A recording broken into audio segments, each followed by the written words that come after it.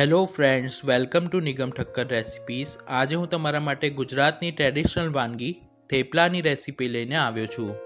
મોટે ભાગે ગુજરાતી ઘરોમાં થેપલા, મેથીની ભાજી કે દૂધીનો ઉપયોગ કરીને બનાવવામાં આવતા હોય છે. પરંતુ આજે આપણે કંઈક અલગ રીતે થેપલા બનાવીશું.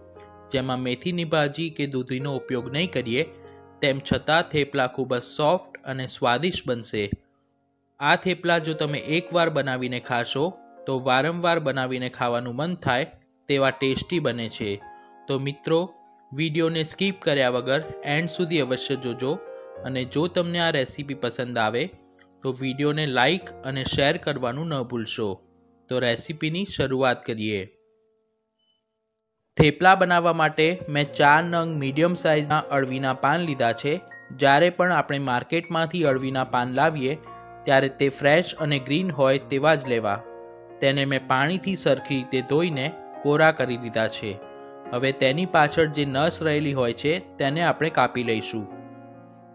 પાનની પાછળના ભાગમાં જે વચ્ચે જાડી નસ રહેલી હોય છે, તેને કાતરની મદદથી કાપી લઈશું. અત્યારે મેં મીડિયમ સાઇઝના કૂણા પાન લીધા છે, એટલે તેમાં ફક્ત એક જ નસ કાપવી પડશે. જો તમે મોટી સાઇઝના પાન લાવો, તો તેમાં સાઈડની નસ પણ પ્રમાણમાં જાડી હોય છે, એટલે તે નસને પણ ચપ્પા કે કાતરની મદદથી કાપી લેવી.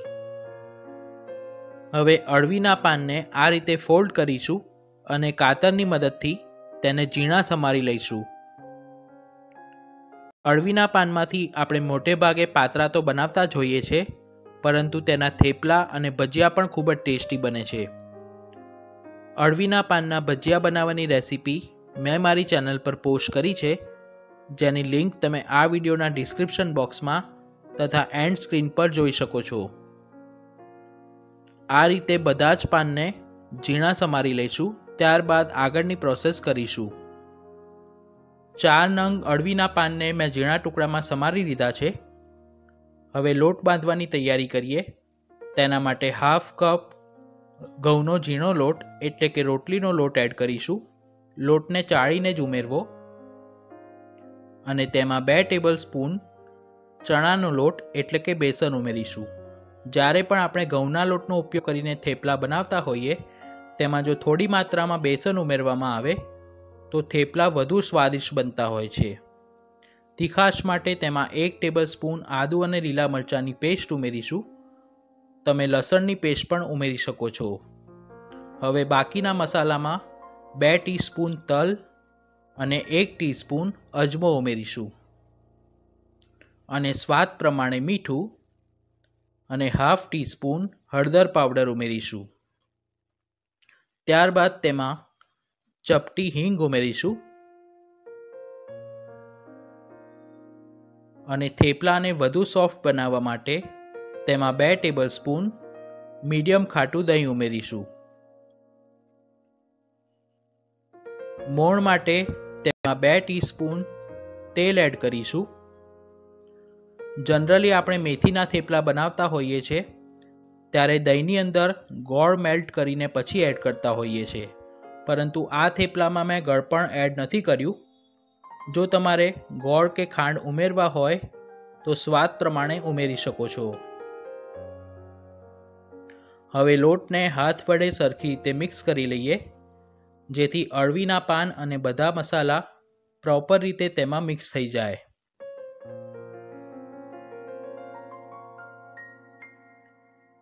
શિયાળાની સિઝનમાં મેથીની ભાજી પણ ખૂબ જ ફ્રેશ અને સસ્તી મળતી હોય છે. જો તમારે મેથીની ભાજીના વડા કે થેપલાની રેસીપી જોઈતી હોય, તો મેં મારી ચેનલ પર આપી છે. લિંક તમે ડિસ્ક્રિપ્શન બોક્સમાં જોઈ શકો છો. બધા જ મસાલા અને અળવીના પાન લોટમાં સરખી રીતે મિક્સ થઈ ગયા છે. હવે જરૂર મુજબ થોડું થોડું પાણી એડ કરતા જઈશું. અને મીડિયમ સોફ્ટ લોટ બાંધીને તૈયાર કરીશું. આ રીતે જો તમે લોટની ક્વોન્ટિટી કરતાં અળવીના પાન વધુ ઉમેરશો, તો થેપલા એકદમ હેલ્ધી બનશે.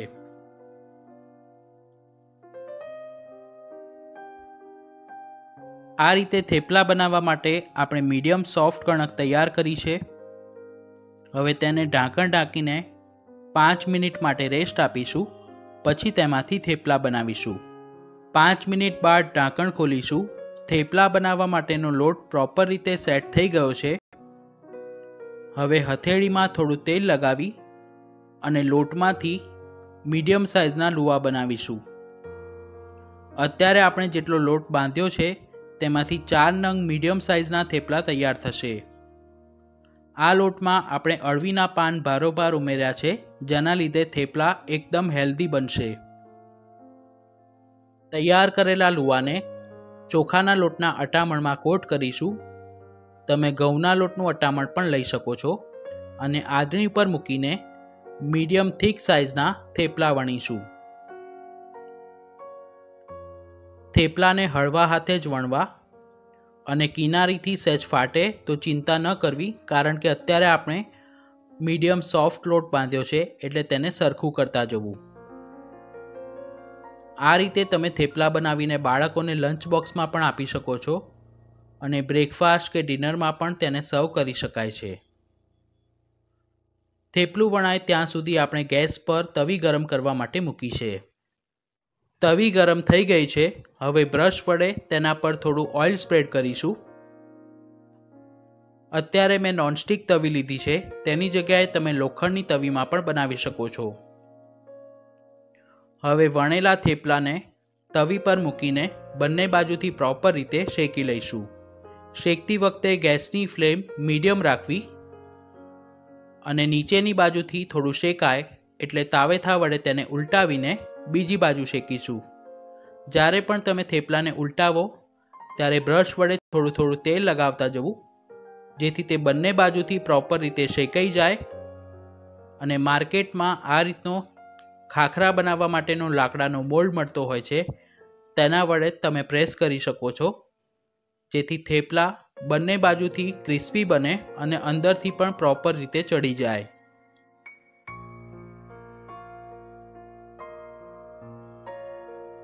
બંને બાજુથી થોડા બદામી રંગના શેકાઈ ગયા છે. એક થેપલાને શેકવામાં ત્રણથી ચાર મિનિટનો સમય લાગે છે. થેપલું શેકાઈને તૈયાર છે, તેને એક પ્લેટમાં કાઢી લઈશું. હવે આ જ સેમ પ્રોસેસથી આપણે બીજા થેપલાને પણ શેકી લઈશું. મોટાભાગના બાળકો મેથીની ભાજી ખાવાનું ટાળતા હોય છે, કારણ કે તે સ્વાદમાં કડવી હોય છે. અને દૂધી પણ ઘણા બાળકોને ભાવતી નથી હોતી. એટલે મેથીના કે દૂધીના થેપલા જો તમારે ન બનાવવા હોય, તો આ રીતે તમે અળવીના પાનના થેપલા બનાવીને બાળકોને સર્વ કરી શકો છો. અળવીના પાન પણ એટલા જ હેલ્ધી હોય છે. અને અત્યારે શિયાળાની સિઝનમાં માર્કેટમાં પુષ્કળ પ્રમાણમાં ફ્રેશ અળવીના પાન જોવા મળતા હોય છે. અળવીના પાન તમે ફરાળમાં પણ ખાઈ શકો છો. જો તમારે આ જ રીતે ફરાળી પરોઠા બનાવવા હોય, તો માર્કેટમાં જે મિક્સ ફરાળી લોટ મળે છે, તેની અંદર તમે સમારેલા અળવીના પાન અને ફરાળમાં ખાઈ શકાય તેવા બધા જ મસાલા ઉમેરીને તમે આ જ રીતે ફરાળી પરોઠા પણ બનાવી શકો છો. પરોઠા શેકાઈને તૈયાર છે, તેને ગરમા ગરમ સર્વ કરીશું.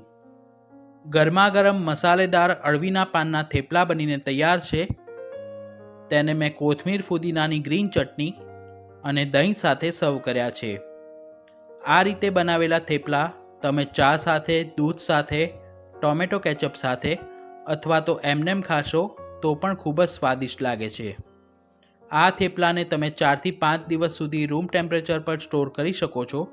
એટલે ક્યાંક ટ્રાવેલિંગ પર બહાર જવાનું થાય, તો આ રીતે ઘરેથી થેપલા બનાવીને તમે લઈ જઈ શકો છો. તો મિત્રો, આ રેસીપી તમે ઘરે અવશ્ય ટ્રાય કરજો. અને જો તમને આ રેસીપી પસંદ આવી હોય, તો વિડીયોને લાઈક કરવાનું ન ભૂલશો અને તેને પોતાના ફ્રેન્ડ્સ અને ફેમિલી સાથે શેર કરજો. અને જો તમે મારી ચેનલ પર પહેલી વાર આવ્યા હો તો આવી નવી નવી રેસીપી જોવા માટે ચેનલને સબસ્ક્રાઈબ કરજો અને બાજુમાં આપેલા બેલ આઇકોન પર ક્લિક કરજો મિત્રો આવી ઘણી બધી ટ્રેડિશનલ વાનગીની રેસીપી મેં મારી ચેનલ પર પોસ્ટ કરી છે જેના પ્લેલિસ્ટની લિંક મેં આ વિડીયોના ડિસ્ક્રિપ્શન બોક્સમાં આપી છે फ्रेंड्स अगर आप हमारी रेसिपीज़ हिंदी भाषा में देखना चाहते हैं तो हमारी दूसरी YouTube channel Nigam cuisine subscribe करें लिंक डिस्क्रिप्शन बॉक्स में दिया है આવી અવનવી, હેલ્ધી તથા સાત્વિક રેસીપી જોવા માટે અમારી ચેનલ સાથે જોડાયેલા રહો. ફરી મળીશું એક નવી રેસીપી સાથે. ધન્યવાદ.